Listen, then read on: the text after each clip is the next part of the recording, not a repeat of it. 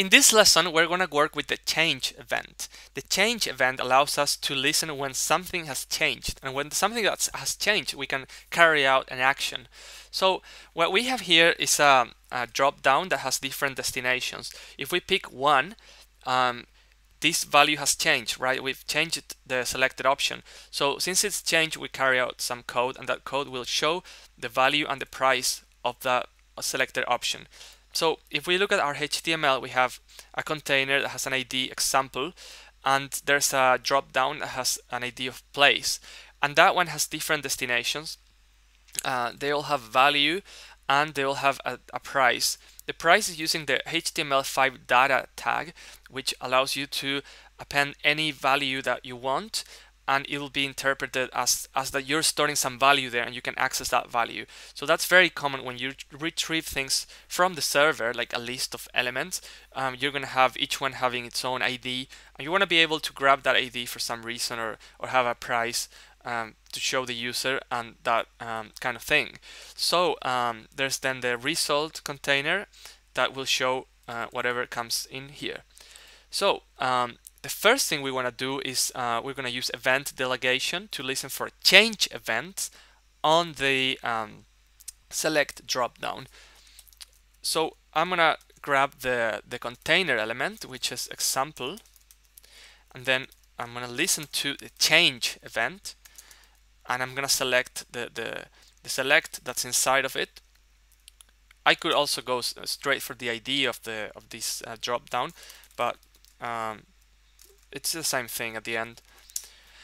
Um, now, yeah, you could not use event delegation here. You could just go straight for the ID in here and not have this part.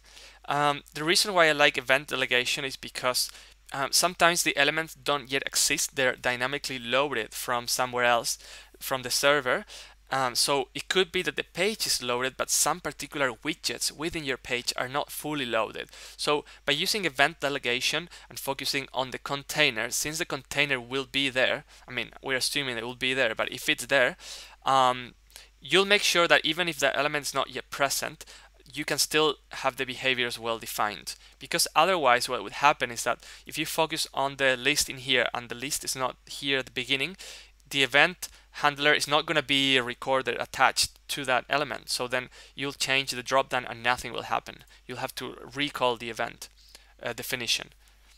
Um, all right, so the first thing uh, we'll, we'll, do is grab the selected option, which um, will be very straightforward.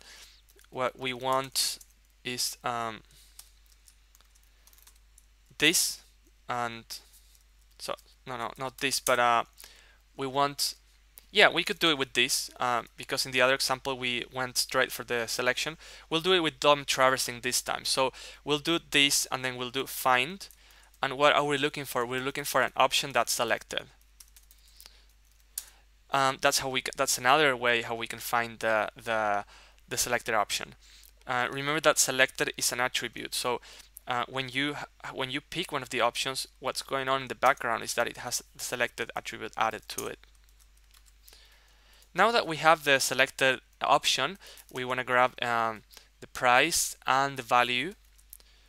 The price, we just grab the value directly with val. I mean, sorry, the value. And the price, we use uh, the data jQuery method to, to that, allows you to work with HTML5 data tags. And lastly, we're going to check whether the price is uh, is actually a true value or is not undefined. And if it's if it because if we pick the very first one, that one doesn't have a price. Um, so we want to avoid showing undefined in here.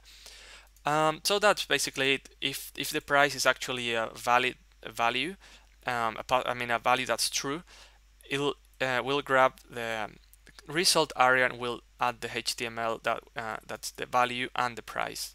So let's uh, reload the page and have this working. Um, see how you can um, use the change event. So we're not clicking on any button here. We're just changing a value. And it doesn't have to be a drop-down. It could be a, an input field or anything else. Um, so basically what we've done here is use um, event delegation. Listen to the change event on our select that's located inside of that um, container. and uh, we're, we're grabbing the selected option by using DOM uh, this that refers to the select and using DOM traversing techniques uh, using find and then a CSS selector to, to find what we want. Uh, we grab the value and we grab the price with, uh, with jQuery methods that allows allow us to um, grab attributes in different ways. And if the price uh, if this is true then we are modifying the HTML of the result area